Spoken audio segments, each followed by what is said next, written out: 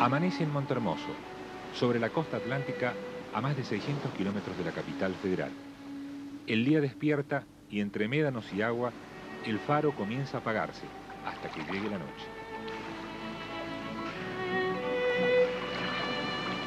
Hola, ¿qué siente cuando lo mece el mar? Una sensación extraordinaria. Cuando olas más grandes son mejor, son menos peligrosas. ¿Y qué piensa cuando está? Pareciera como si el mundo fuera mío.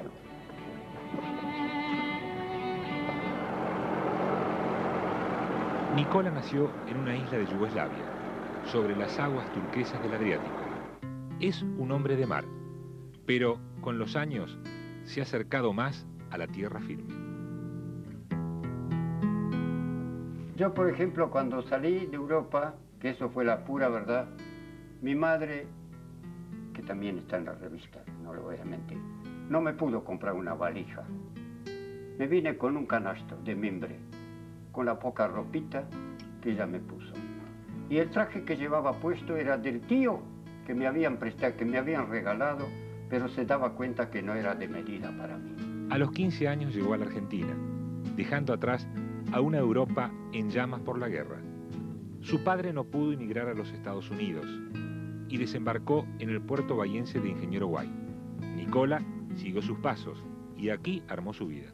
En Estados Unidos pagan bien, cierto, pero el hombre que trabaja, el hombre tiene que ser muy capacitado. Si no es capacitado para ellos, no sirve. Y acá el hombre, tanto el mediocre o en fin, según la suerte que tuvo, por ejemplo, progresaba. ¿Se da cuenta? Y yo allá en Europa, como todos, tuvimos que pasar esos momentos críticos que nos agarró la guerra. La guerra duró cinco años, como ustedes lo saben, la Primera Guerra Mundial.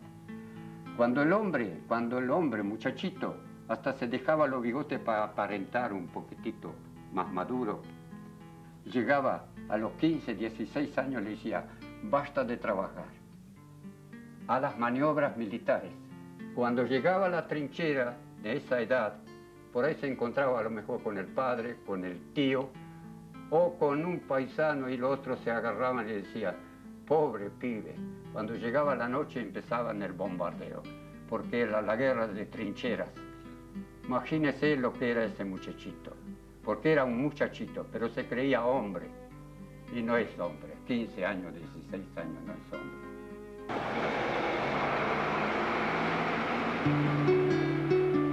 Su pasión son los barcos, y asume orgulloso la paternidad de más de 200 embarcaciones.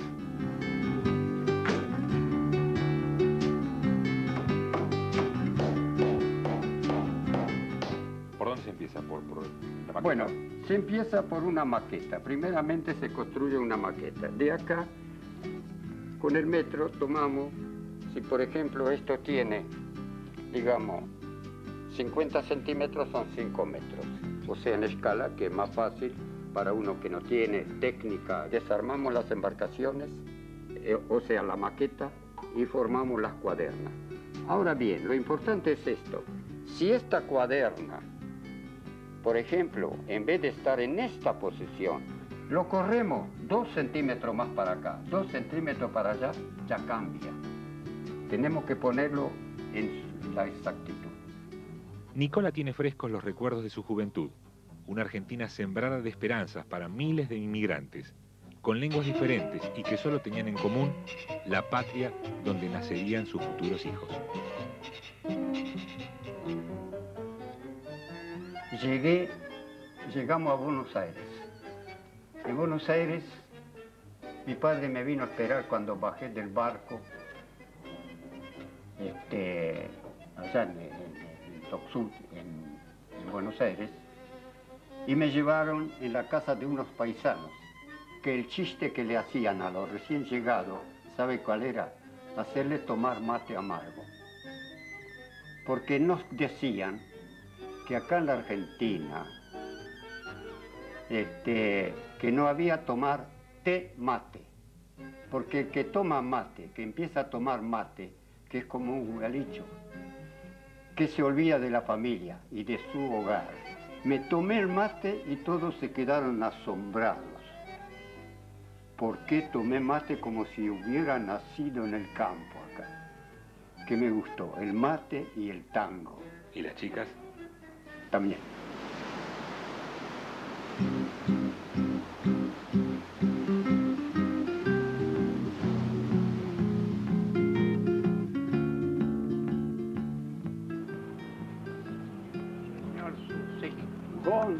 Good morning. God morgon, Ja. Híjole. ¿Cómo va eso? ¿88? Bien, ¿Eh? 88. 88. Un pibe. Un pibe. No me diga don Susiche, Nicola me Nicola, Nicola. Nicola, bueno, Nicola. listo. Nicola. Este, acá se mío, no está hecho para hombre grande esto, ¿eh? Ah, claro. Para tro- tropezar. Leif Larsen es un argentino con sangre danesa en sus venas. Un día conoció el mar y allí se quedó a vivir definitivamente. Mire cómo aguantan al rayo de intemperie, al rayo del Sí, sol. todo, es cerdo, todo cerdo. Si dijera que estuviera bajo el techo, entre- No, en la playa tirados están. Algunos se no se, no se pudre el ¿Sí? cerdo. todo remache de cobre esto. Este apareció en, en la ría de Balanca, abandonado en cualquier lado. Claro. Y allá lo, lo trajeron para acá y lo manejaba que Benito Flores, hermano de Lalo. Ah, claro. Quedó en casa y bueno, papita para el logro. Nicola y Leif caminan como si el tiempo no pasara. Siguen disfrutando de la primavera de la vida.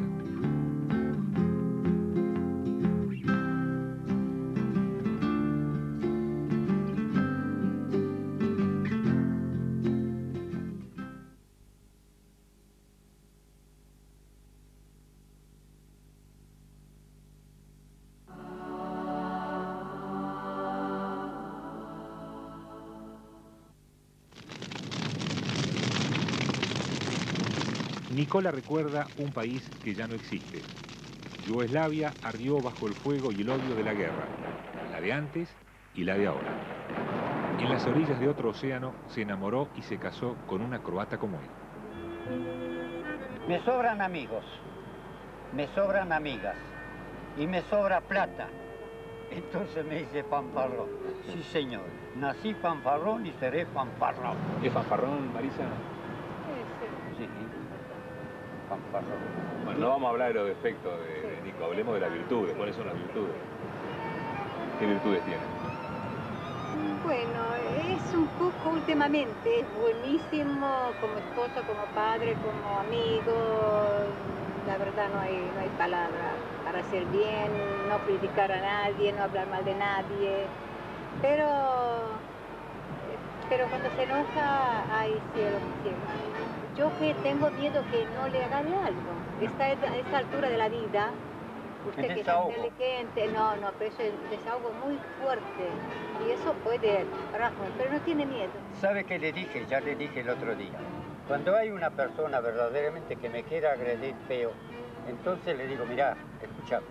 Le doy la mano, le digo, mira, anda por tu camino, yo voy por. No, no, no. Y me dice, si me pregunta el defecto de él, mira, el defecto tuyo lo conoces vos. ¿Qué es lo que más le molesta? ¿Qué es lo que, qué es lo que más le agrede? Cuando se la quiere dar lo que no es. O sea, ver los favores recibidos, creo vértelo pagado. Nicola conoció aquí a Marisa. Ella dejó Croacia a los 23 años, a bordo de un buque que zarpó del puerto de Split, sobre el Adriático, frente mismo a Venecia. Hace más de 50 años que están juntos. Hoy se sienten orgullosos abuelos de seis nietos. Bueno, ¿Y a vos qué bien me viene esta? Nueve. Nueve. El nueve nadie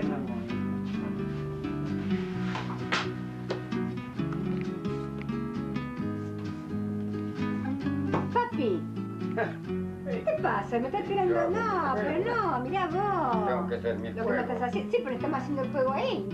Gano yo. Bueno, está bien. Bueno, Juanca 3. Medio siglo después de emigrar, en 1977, Nicola y Marisa volvieron a Croacia. ¿Qué tal era Split?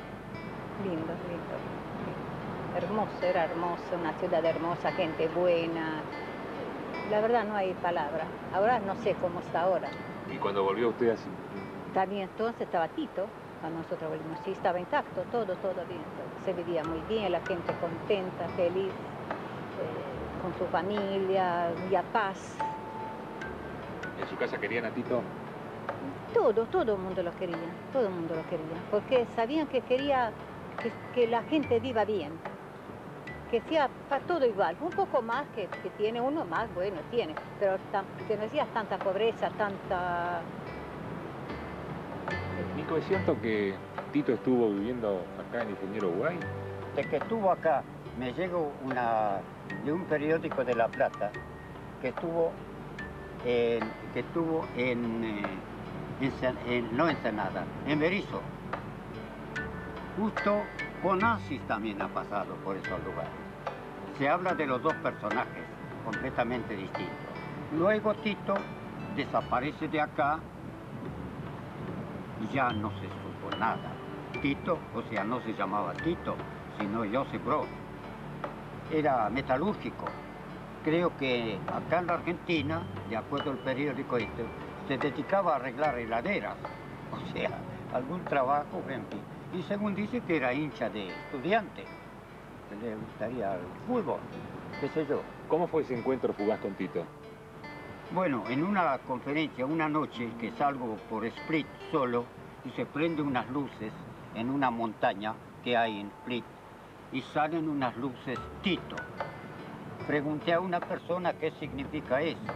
Dice, eso significa porque va a venir Tito acá, de Belgrado, porque Tito se encontraba en Belgrado, que es la capital de Yugoslavia, ¿cierto? Aunque era croata, pero la capital de Yugoslavia era Belgrado.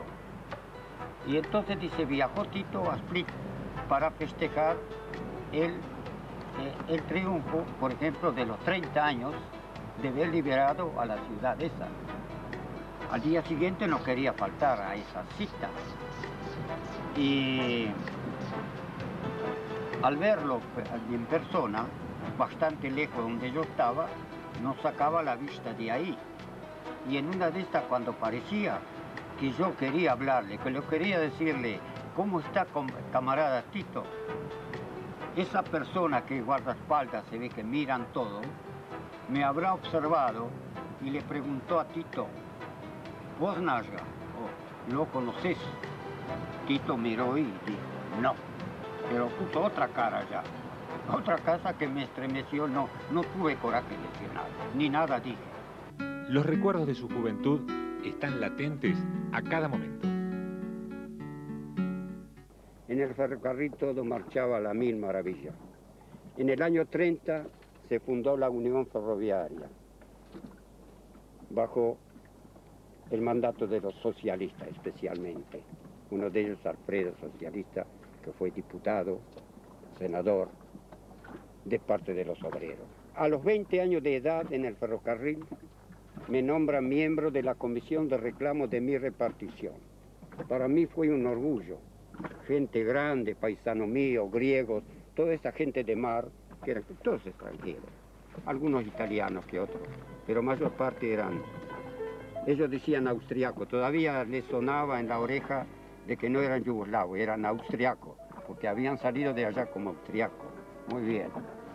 Entonces, este, al ser miembro de la comisión de reclamo, el socialismo, con dos célebres socialistas que eran ya gente grande, me enseñaron más o menos lo que es la justicia, lo que es el abuso del obrero, y lo tomé tan a pecho y me puse a defender a mis compañeros.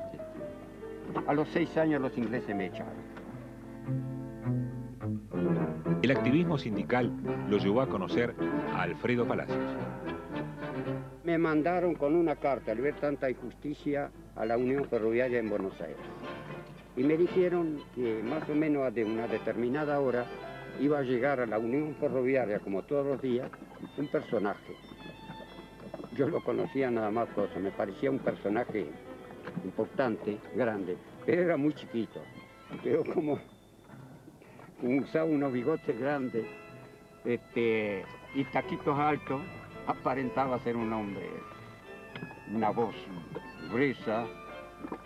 Bueno, hablé con él y me dio esperanza, me dijo que todo esto se iba a arreglar, que no lo tomara la tremenda, ni hiciera caso a cierta gente, digamos, porque los hubo socialistas, hubo gente que decían que eran comunistas, aunque allá en su patria, como yo, habían sido monaguillos o católicos, lo que sea, pero acá se hicieron tirabomba.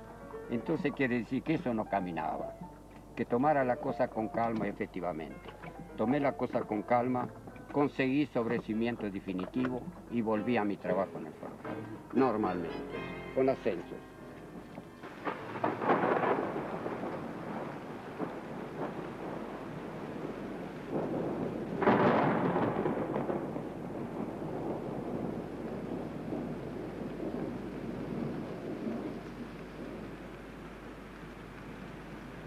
Cuando vivía en Split, ¿se imaginó en algún momento que iba a terminar mirando el mar acá en una casita tan humilde frente al faro en Montermoso? Bueno, no sé, cuando, ah, antes de venir. Sí. No, no, pero mm, siempre yo pensaba cosas lindas, yo siempre pienso cosas lindas, cosas buenas. Siempre tengo este, no sé si es, no, si es, es naturaleza, Dios, yo creo mucho. Pregúntele si tuvo amores.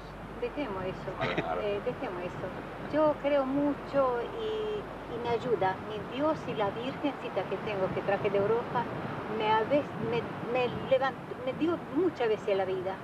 Porque yo he pasado mucho en Europa, pero yo no quiero hablar esta cosa triste, no, no me gusta. no. Ya pasó, pasó, desde ya me acuerdo y me cae la lágrima por mi Santo Padre, eso sí que era Santo Padre, mi Santa Madre y muchos, ¿no? Mi señora al venir acá era huérfana de madre. Se vino a casa de unos tíos donde yo la conocí. Nos casamos. Al poco tiempo estaba la Segunda Guerra Mundial. Tenía dos hermanos ella en las guerrillas, la famosa guerrilla de Tito. Los alemanes, o sea, los nazis, al retirarse de Grecia, pasar por Yugoslavia, agarraron al padre de mi señora, o sea, mi, mi, mi, este, mi suegro, que me escribió, recuerdo bien, me escribió una carta, no sabía escribir, escribieron otro. Me dice, querido yerno, dice, no te conozco, pero ¿qué me podés dar que te di una hija tan hermosa? Yo le contesté, digo, querido suegro, lo voy a hacer venir a la Argentina para que usted pase el resto de su vida verdaderamente con sus hermanos que tiene acá conmigo, para que nunca le falte nada. No tuve suerte en esto. Al tener los hijos en las guerrillas, los nazis los agarraron en una casa, a mi suegro, una hermana de él y cincuenta y tantas personas más, y los quemaron vivos. El tío que trajo a mi señora de Europa lleva, eh, vino llorando y mi señora se dio cuenta que en el bolsillo tenía una carta. Él no le quiso decir eso, lógico, pero ella le arrebató la carta al leerlo, le fue la vida, calculé. Mm, Bajo, me mojo los pies, me mojo la cara, me rodillo, beso el agua, beso, doy gracias a Dios por ver pido Dios. Este tamarisco se, no se cae, que no me lo lleva a la marea, por mis hijos, por mi hija que le gusta tanto, mis hijos, mi nieto, que disfruten este lugarcito. Y agradezco a Dios. Sus ojos cansados se pierden en la inmensidad del mar. Y entonces Nicola vuelve a ser un adolescente de 15 años que dejó su familia en una isla de Yugoslavia. Cuando me despidieron, que mi tío me esperó para llevarme hasta el barco, y mi madre pegó un llanto dijo, hijo, nunca más te voy a ver. Es- esa fue la única emoción que me dejó. Pero mi tío me dio coraje, me dice, no largues lágrimas, sos un susichi. ¿Te gusta el tango? Sí, me gusta, no sé bailar. Nunca sé bailar. Nunca bailó. ¿Y ¿Se usted? cuenta? ¿Puede Vos creerlo? tampoco, vos tampoco. Y resulta que me gusta escucharlo cuando dan tango por televisión o la música, me gusta mucho. me gusta. ¿Y usted baila, Nicolás? No, no que bailaré. Más bien me gusta, como le dije hoy, tengo que decir como me soy feliz viendo felices los demás. Lejos de la tierra natal, Nicola y Marisa viven los años maduros al borde del Atlántico, en Montermoso, donde el sol nace y se pone en el mar. Caminan por la playa hablando en la lengua de sus ancestros, como queriendo sentir en el aire el aroma inconfundible y perdurable del lugar que los vio nacer. ¿eh?